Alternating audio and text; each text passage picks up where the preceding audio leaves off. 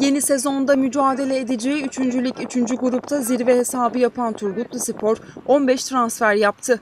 Ekonomik anlamda önemli transferlerin gerçekleştiği Turgutlu Spor'da takıma 15 yeni isim dahil olurken 10 oyuncuyla yollar ayrıldı.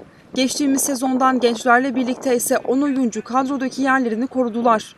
Yönetimin transfer politikası hazırlık maçlarında sahaya yansımasa da taraftarlar yeni sezonu iple çekiyor.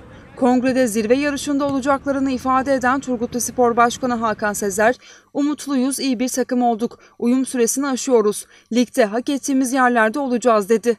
Turgutlu Spor kadrosuna Yusuf Yıldırım, Melih Vardar, Emre Kars, Özkan Toprak, Furkan Mehmet Tuncer, Çağrı Gülcü, Mehmetcan Küçük Alioğlu, Tugay Meşe Koparan, Gökhan Cingit, Zihni Aydın, Güner Okay, Tayfun Yanar, Necmi Çoban, Cihan Şentürk ve Fatih Arat'ı dahil etti.